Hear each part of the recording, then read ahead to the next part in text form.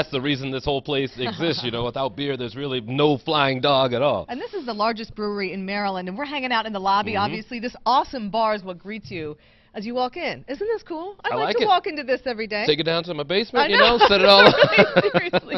and this is actually the 33rd largest craft brewery in the entire country. Yeah. I had no idea. Also, Maryland's biggest operation. Yeah, there you go. And Flying Dog is celebrating 25 years this year. 20 of those have been here in Maryland after moving here from Aspen, Colorado, making dozens of different beers, most of which you can try in the tasting room.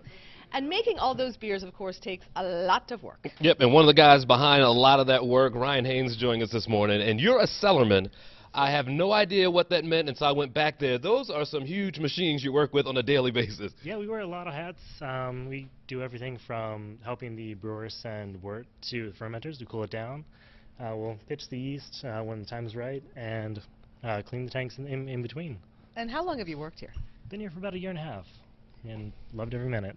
Talk a little bit about the science because you always hear about you know home brewers. They go down in the basement and, they, and poof, they made something. But here, I mean, you can just tell the effort that goes into this work. Yeah, and the concept the concept still holds true, but we really all about precision here. Um, we really try to make sure we produce a consistent product day in day out, and we're constantly checking the product just to make sure pHs, um, alcohol content are all the same, and we're getting the same beer day in day out. There's so much chemistry involved, chemistry and art kind of put together. What is your background? Uh, well, um, I was a physics major back in the day. Um, started out as a home brewer, fell in love with it, and um, just kind of immersed myself in the whole process.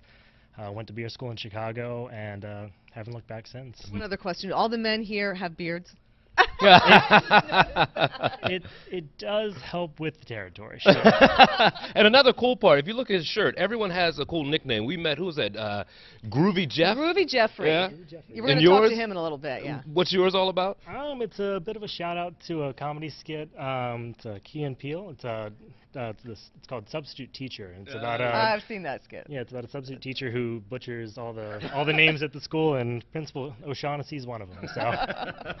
Well, how would you Love it. describe the atmosphere here? Obviously, sense of humor comes along with it. Yeah, it's you, you you come across a lot of different obstacles, and you have to have uh, an open mind and just a you know positive spirit about things. And you know, we're making beer all day long and kind of doing what we love. So what more can what can you ask? I found my retirement career. We're going to open a brewery. Let's do it.